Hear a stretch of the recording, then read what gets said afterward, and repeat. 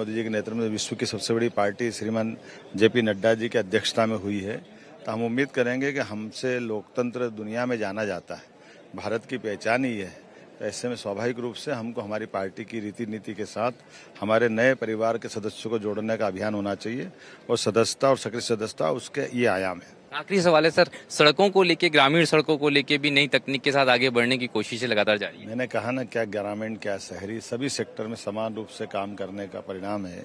कि आज विकास के मामले में मध्य प्रदेश आगे बढ़ रहा है। Thank you very much sir तो मध्य प्रदेश हर मामले में आगे बढ़ रहा है, चाहे वो ग्रामीण और शहरी और कहीं ना कहीं मध्य प्रदेश के जो संगठन है और सदस्यता को लेके जो सरकार की कोशिश है, उसकी प्रधानमंत्री ने तारीफ़ की है, ये कहना है। सीएम डॉक्टर मोहन यादव का कैमरामैन हरी के साथ अनुराग ने twenty four into seven Bhopal.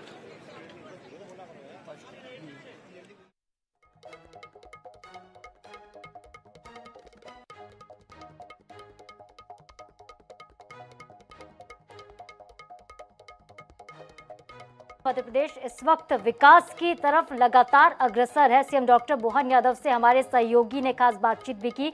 Bureau प्रमुख अनुराग मालवी के साथ बातचीत में मोहन यादव ने यह भी कहा है कि दो दिवसीय सेमिनार होगा।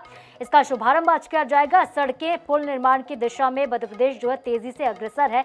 इंफ्रास्ट्रक्चर निर्माण की ओर मध्य प्रदेश जो है तेज़ी से कदम बढ़ा रहा है। आज एक महत्वपूर्ण कार्यक्रम होना जिसमें केंद्रीय मंत्री नितिन गडकरी भी शामिल होंगे।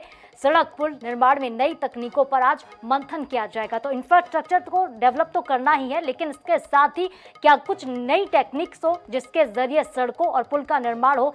जिस तरीके से बारिश के मौसम में कई दफ़ा ऐसा होता है कि जो निर्माण कार्य होते वो रुक जाते धराशायी हो जाते कई बार घटिया निर्माण के चलते आ, लोगों को परेशान भी होना पड़ता है। लेकिन अब नई तकनीक की बात हो रही है। निर्माण कार्यों में जब नई टेक्निक्स का इस्तेमाल किया जाएगा और टेक्निक के साथ जब निर्माण कार्य होंगे तब जो निर्माण होंगे और ज़्यादा अच्छे होंगे। और यही कहना डॉक्टर मोहन यादव का कि तकनीक पर ज़ोर देने का काम मध्य प्रदेश की सरकार करती है, केंद्र की सरकार करती है। और इसी कड़ी में आज मंथन किया जाना है। दो दिवसीय सेमिनार का आयोजन है। राजधानी भोपाल में सड़क पुल निर्माण को लेकर मंथन होगा। सीएम डॉक्टर मोहन यादव इसमें शामिल होंगे। इसके अलावा केंद्रीय मंत्री नितिन गडकरी भी आज भोपाल पहुँचेंगे। तो इस वक्त आप तस्वीरें देख सकते हैं राजधानी भोपाल से जहाँ पर गाजे बाजे के साथ यहाँ पर स्वागत की तैयारी भी तमाम कर ली गई है। और बड़े ही भव्य तरीके से स्वागत सत्कार से बात कर रहे हैं ये संवाद आपको सुनाते हैं। बहुत रोचक चर्चा है ये। अच्छा बाबू भाई? हाँ बाबू। अच्छा तुम कब आए यहाँ पे? हम सुबह आए। सुबह आए?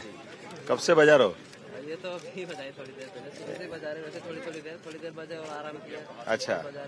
अच्छा। वाह यार तुम्हारा नाम क्या है? अच्छा तुम अच्छी बजाते हो यार।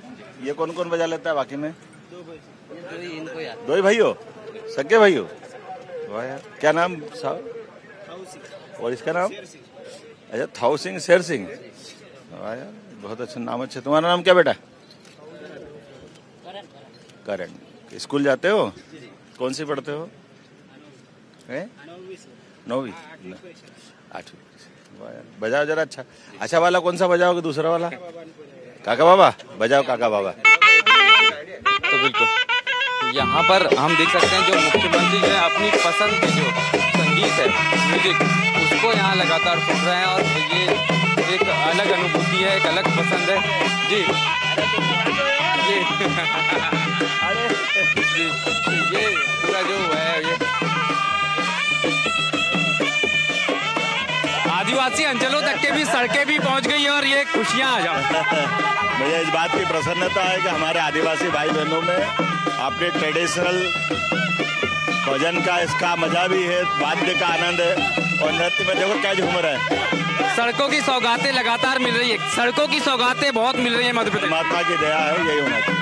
थैंक यू तो यहाँ पर देख रहे हैं ये जो प्रसन्नता है आदिवासी अंचल में, ये बहुत स्पष्ट रूप से साफ़ दिख रही है और कहीं ना कहीं ये जो तस्वीर है, ये हम आपको बता रहे हैं कि एक अलग तस्वीर है मध्य प्रदेश में, जो आदिवासी अंचलों की सड़कें हैं, चाहे खूबसूरती है, उसको लेके मुख्यमंत्री से हमने बात की और किस तरह का ये संवाद हुआ, वो भी सुनाया।